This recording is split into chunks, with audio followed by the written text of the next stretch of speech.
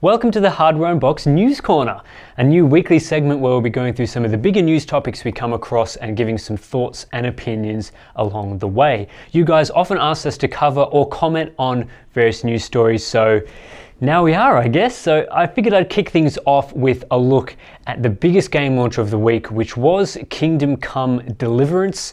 Probably not the most anticipated launch for a lot of you guys, but it did develop a niche following among those interested in its take on medieval, strictly no magic or fantasy RPG. It was also crowdfunded to the tune of 1.1 million pounds, so there was certainly a lot of demand for this sort of thing among those that like to crowdfund games, I guess. Anyway, the game came out earlier this week on February 13, and early opinions from critics and users seems to be mixed, tending on positive. Sounds like the game is extremely buggy though, and that's despite an enormous 23 gigabyte day one patch fixing a lot of the pre-launch issues. It could take a couple of weeks for even game-breaking bugs to be addressed, so if you're thinking thinking of playing the game, it's probably best to wait until those glaring issues are fixed. As for gameplay, people who know the game is designed to be realistic are quite pleased with the results and the flexibility of the open world, though I've seen a couple of complaints about the restrictive save system and difficult lockpicking. While it's not something Steve or I have played yet, and we are exploring whether it's worth benchmarking, we have heard the top visual quality settings are quite demanding on PC. Let us know your experiences with the game and what it's like to play it, and you know whether it's worth a look on our test systems from a benchmarking perspective. There's been a bit of mixed news on this next topic relating to Nvidia's Turing graphics cards that are rumored for launch next month. Initial reports suggested it would be just another line of consumer cards or perhaps a codename for a single card, but the latest information claims it's actually a cryptocurrency mining specific line or architecture.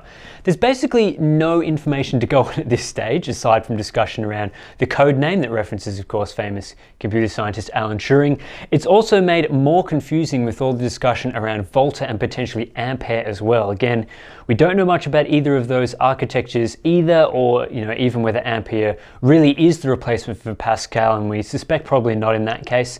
Anyway, back to Turing. If this really is a cryptocurrency mining architecture, a couple of things spring to mind.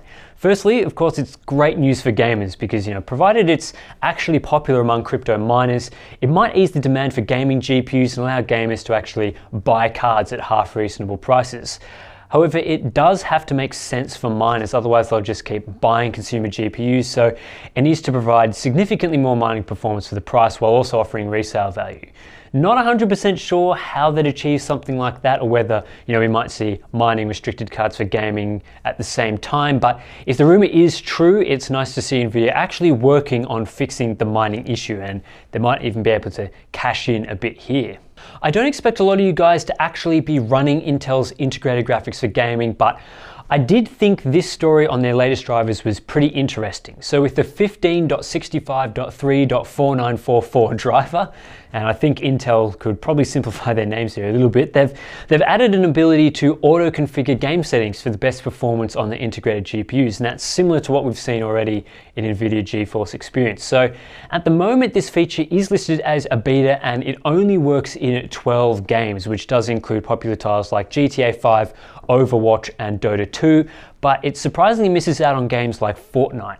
Obviously, this is a very early project for Intel, and they're you know they're looking for feedback on how it works and what games to add. So if you do have an integrated graphics chip that you game on, probably worth giving it a look.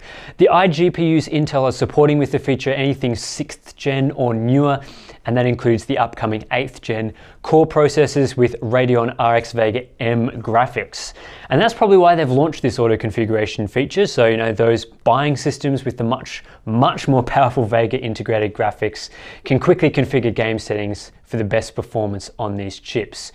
Personally, I think configuring games is all part of the fun of PC gaming, though you know a lot of people just like having that quick and easy utility. Just launch games and play with a more console-like experience. That's fine, as long as the utility works well and doesn't suggest settings that will, you know, make you run at horrible quality or sub 30 FPS. And I think uh, with a bit of work and a few extra games added into the mix, this could be quite good for those who like to game on integrated graphics. Earlier this week, hopefully you saw our coverage of Raven Ridge and the new Ryzen 5 2400G and Ryzen 3 2200G. Well, just shortly after those APUs launched, a couple of new APUs were spotted in an ASRock AM4 CPU support list, the Ryzen 5 2400GE and the Ryzen 3 2200GE. Details are slim at this stage, but it seems these APUs are low power variants of the same silicon, capping the TDP to 35 watts instead of 65 watts, and reducing base frequencies from 3.5 and 3.6 gigahertz on the CPU to just 3.2 gigahertz. AMD hasn't officially announced these parts yet, but they do make sense, particularly for small form factor builds that can't fit in massive coolers. Reducing the TDP to 35 watts and allowing a less capable, smaller cooler to do the job would be great in some use cases cases. I do expect most of you guys building Ryzen APU systems will stick to the non-E models for the most part though, and we have also already seen these APUs scale quite well at lower TDPs. Ryzen mobile APUs are 12 to 25 watts and use basically the same chips though they do push CPU clock speeds down even further than these E parts. Ryzen Mobile's game performance is still very good though, so expect similar from these E series parts. No word on an official launch date or pricing at this stage for them though, so keep an eye out, you know, in a couple of weeks. Intel quietly pushed out the Core i3 8130U this week, a new 15 watt laptop CPU for ultra portable devices.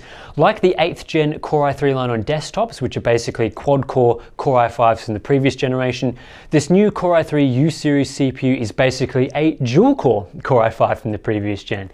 It has two cores and four threads with the base clock of 2.2 GHz and a boost clock of 3.4 GHz. It's not just a straight rebrand of 7th gen parts though, Intel has gone with a lower base clock than the old Core i5 line but pushes the boost clock up a bit. Something like the Core i5 7200U used a 2.5 GHz base and 3.1 GHz boost whereas you know here we're looking at 2.2 GHz base, 3.4 GHz boost on the same core and thread count. The Core i3 8130 also packs 4 meg of L3 cache up from 3 meg and now supports DDR4 2400 up from DDR4 2133. And of course the integrated GPU is unchanged. It's not the biggest news, but it does allow 8th gen CPUs to filter down to cheaper ultra portable laptops. Most of the high-end stuff will still use the much faster quad-core CPUs, though Core i3s occupy you know, an important place for those mid-tier laptops, and having current gen dual cores makes sense in that category.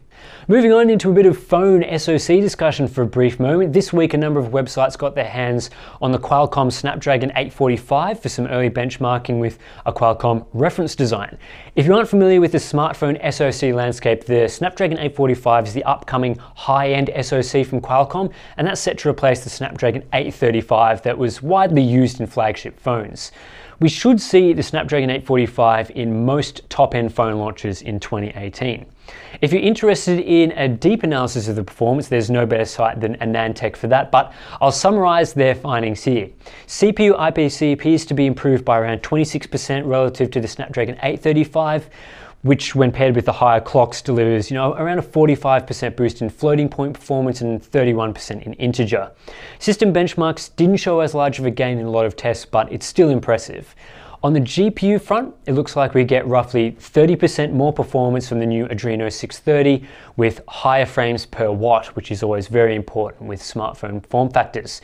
AnandTech also found similar overall power consumption to the Snapdragon 835 in a very brief test, so that should mean excellent battery life and much improved efficiency when considering the improved performance. Something to look out for in 2018. A couple of other interesting topics to round out today's video, starting with the news that pirates have cracked Microsoft's Universal Windows Platform Protection. PC gamers will be familiar with UWP as it's the way Microsoft package and distribute their first party games exclusively through the Windows Store, which is almost universally hated by gamers and one of the key reasons we avoid benchmarking with UWP games. It basically sucks. Anyway, so the UWP protection system has been cracked starting with Zoo Tycoon Ultimate Animal Collection, which obviously everyone was eagerly waiting to be cracked. Apparently, the game was protected by five layers of DRM, including Arxan Anti-Tamper, the Microsoft Store, UWP systems, and Xbox Live. It's not clear whether this means all UWP games can now be cracked, but at least one has, and that usually means the floodgates have been opened. We don't advocate for piracy here at all, so please buy games and support developers if you want to play their stuff, but it's always interesting when increasingly tough DRM is cracked these days. Speaking of UWP games, we now have the full system requirements for Microsoft and Rare's Xbox and PC game Sea of Thieves, which is launching on March 20th. Rather than just giving basic minimum and recommended specs, Rare has delivered six full configurations that should deliver performance anywhere from 540p at 30 FPS to 4K 60 FPS depending on the listed hardware and quality levels. Those with Intel integrated Iris Pro 6200 graphics from the Broadwell era or Iris 540 from Skylake should be able to run it at a meager 540p and 30 FPS. In more modern terms, this should mean it's playable on Ryzen Mobile but not on Intel 8th gen CPUs. 720p 30 FPS requires an Intel Q9450 or AMD Phenom 2 and either a GT 1030 or R7 450 in modern GPU terms. 1080p 30 medium quality can be achieved with an i3 4170 and a GTX 1050 Ti or RX 460. 1080p 60 at medium, that needs an i5 4960 with a GTX 1060 or RX 470. And then pushing up to 4K 30 with Ultra, they suggest a GTX 1070 or RX Vega 56. And if you want 60 FPS, you'll need a GTX 1080 Ti or a Vega 64. There's always a couple of strange things in these specification lists, particularly as they suggest a GTX 1060 for 1080p 60 FPS gaming at just medium settings, but then apparently only a GTX 1070 is required for 4K 30 at Ultra. So a little bit odd there. Oh, and the game asks for 60 gig of drive space, so expect a fairly large install size. Final brief topic for this week, ASUS has launched the ZenBook 13 UX331, which is a 13-inch ultra portable with a Core i5 8250U and NVIDIA GeForce MX150 graphics. It's extremely rare to see discrete graphics in a 13-inch slim and light laptop, but ASUS has done it with this new ZenBook, so it's now available for about a thousand US dollars if anyone is interested. That's it for this week's News Corner. I'll hopefully be back next week with a look at whatever pops up between now and then. Let us know what you think of doing a weekly news segment below, and I'll catch you next time.